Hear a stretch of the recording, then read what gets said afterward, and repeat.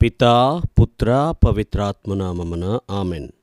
క్రీస్తునాథునియందు మిక్కిలి ప్రియులకు సహోదరి సహోదరులారా ప్రభు నామములో మీ అందరికీ శుభాబంధనాలు తెలియజేస్తున్నాను ఒకసారి ఒక అడవిలో గర్భంతో ఉన్నటువంటి ఒక జిరాఫీ అడవిలో ఒక మూలకు వెళ్ళి అది తన బిడ్డకు జన్మనిస్తుంది.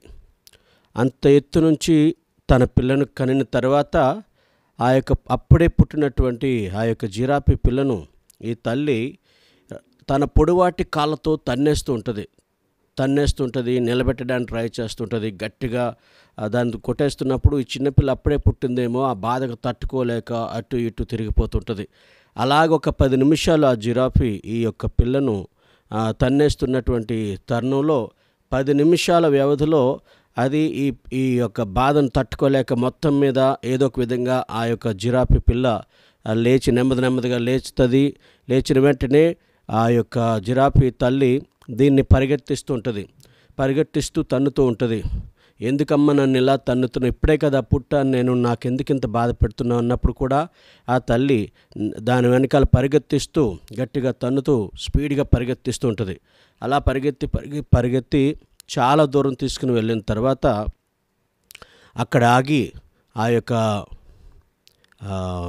పిల్లతోటి పిల్ల జిరాపితో తల్లి చెప్తుంది చూడు నీవు నాకు పుట్టినటువంటి ఒక మహద్భాగ్యానివి. నువ్వు బ్రతకాలి. కనుక అటు చూడు అని దూరాన చూపిస్తుంది. అక్కడ చూసేసరికి అక్కడ సింహాల గుంపు ఒకటి కనిపిస్తుంది. చూసావా నీవు గనక పుట్టిన వెంటనే లేచి నిలబడి పరిగెత్తడం నేర్చుకోకపోతే అవన్నిటికీ ఇప్పటికల్లా నువ్వు ఆహారం అయిపోయి ఉండేదానివి.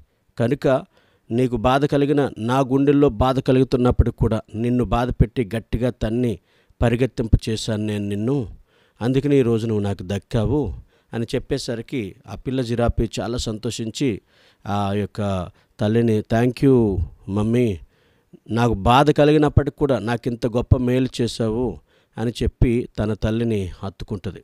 ప్రియ సహోదరి సహోదరులారా మన జీవితంలో ఎదురయ్యేటటువంటి ప్రతి కష్టము నష్టము బాధ అవమానములు ఇవన్నీ కూడా మన మంచికే దేవుడు చేశాడు అని అనుకునేటటువంటి వారు విశ్వాసంలో ఒక స్థితప్రజ్ఞతకు చేరుకున్నట్లే లెక్క.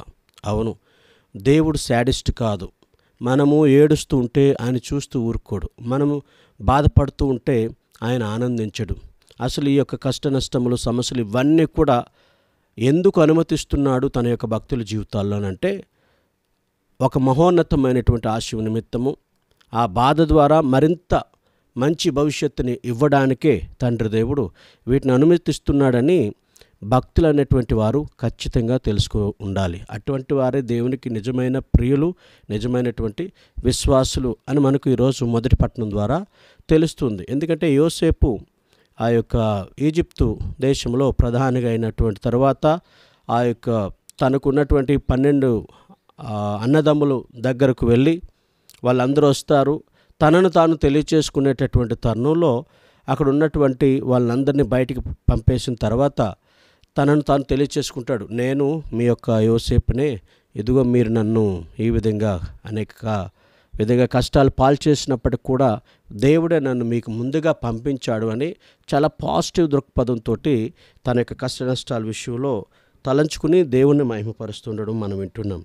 ఆది కాండం నలభై ఐదవ అధ్యాయంలో నాలుగో వచ్చిన నుంచి మనం చూద్దాం. అంతటా యోసేపు సోదరులను దగ్గరకు రండు అనగా వారు అతని చెంతకు వచ్చిరి. అతడు వారితో మీరు ఐగుప్తు దేశీయులకు అమ్మిన యోసేపును నేనే మీ సోదరుడను. నన్ను బానిసగా అమ్మివేసినందులకు మీరు దుఃఖించుచు కలత చెందవలదు. మీ ప్రాణములను రక్షించుటకు దేవుడే మీకు ముందుగా నన్ను పంపెను. దేశంలో రెండేండ్ల నుండి కరువు ఉన్నది ఇక ఐదేండ్ల దాకా సేద్యము కానీ కోతలు కానీ ఉండవు. మిమ్మందరూ ప్రాణములతో కాపాడుటకు మీ బిడ్డలను భూమిపై నిలుపుటకు దేవుడే మీకు ముందుగా నన్ను పంపెను. నన్ను ఇక్కడికి పంపినది దేవుడే కానీ మీరు కాదు. నన్ను పరోరాజుగా రాజుగా మంత్రిగా చేసినవాడు అతని ఇంటికి సర్వాధికారిగా చేసినవాడు ఐగిప్తు దేశమునకు పాలకునిగా చేసినవాడు దేవుడే. చూసారా నిజానికి యోసేపు జీవితంలో బోల్డ్ కష్టాలు ఎదురయ్యాయి. అతని అన్నల ద్వారా మరింత ఘోరంగా బానిసగా అమ్మివేయబడ్డాడు ఇస్మాయిల్కి అమ్మివేయబడ్డాడు వాళ్ళేమో ఈజిప్ట్ దేశంలో పోతిపరికి అమ్మేశారు. అక్కడ మళ్ళా జైలు జైల్లో అనేకమైనటువంటి బాధలు పడ్డాడు. ఆ తర్వాత అనేక రకాలుగా చాలా ఇబ్బందులు కష్టాలు తన జీవితంలో ఎదుర్కొన్నప్పటికీ కూడా అతను మాత్రము దేవుని వదలలేదు. ఇప్పుడు చెప్తున్నాడు ఇవన్నీ చేసింది దేవుడే మన మంచి కోసమే చేశారు. మీరేం కాదు మీరు బాధపడొద్దు అని చెబుతూ తన అన్నలకు అన్నలకు దేవుని మీద నమ్మకాన్ని తెలియచేస్తున్నాడు. తన యొక్క కష్టాలన్నీ పక్కన పెట్టేసి ఇన్ని బాధలు పడ్డప్పటికి కూడా దేవుడే మీ అందరినీ కాపాడడానికి నన్ను ముందుగా పంపించాడని ఎంత గొప్పగా ఆలోచిస్తున్నాడు. ప్రియ సహోదరుడా సహోదరి మరి నీ జీవితంలో అనేక కష్టాలు సమస్యలు ఎదురవుతున్నప్పుడు ఇదే దృక్పథం నీవు అవలంబిస్తున్నావా? ఇదే ఆలోచన నీకు కలుగుతుందా? లేక నాకెందుకు దేవుడు ఇస్తున్నాడు? నన్నే ఎందుకు ఇలా బాధ చేస్తున్నాడు? నన్నే ఎందుకు ఇలా నాశనం చేస్తున్నాడని నువ్వు చాలాసార్లు దేవుని ప్రశ్నించుట్టావు కదా? దానికి బదులుగా దేవుని చిత్తానికి లోబడు దేవుని గట్టిగా పట్టుకుని ఆయనకు స్థుతి ఆరాధన చేయి. నీ సమస్యలకు బాధలకు జబ్బులకు అన్నిటికీ దేవునికి వందనాలు తెలియచేయి. ఎందుకు అని అంటే ఆయనకు తెలియకుండా నీ లైఫ్లో ఏ ఒక్క కష్టం కూడా రాలేదు. కనుక ఆ కష్టాలను అనుమతించినటువంటి దేవుడు ఆయనకు తెలుసు నిన్ను బయటకు వాటి నుంచి ఎలా బయటకు తీసుకురావాలని. ఈ లోపు నువ్వు చేయాల్సింది ప్రతి కష్టంలో కష్టం ద్వారా దాని తర్వాత వచ్చేటటువంటి మహిమనిచ్చే దేవుణ్ణి మరింత ఎక్కువగా పొగడడానికి ప్రయత్నం చేయి. ప్రార్థించడము సర్వశక్తి గలని సర్వేశ్వరానికి స్తోత్రాలు ప్రభు ప్రతి కష్ట నష్టములు సమస్యలు అన్నీ కూడా మా మేలు కొరకేనని హెబ్రూ పత్రికలో మీరు తెలియచేశారు ప్రభు. మమ్మలను పవిత్రతలో ఉంచడానికి మమ్మలను నీ అందు క్రమశిక్షణతో జీవింప చేయడానికి నీవు వీటిని అనుమతిస్తున్నారు. అయితే మేము వాటిని తట్టుకోలేక ప్రభు మిమ్మల్ని ప్రశ్నిస్తున్నాము విమర్శిస్తున్నాము. వాటన్నిటిని బట్టి మమ్మల్ని క్షమించండి.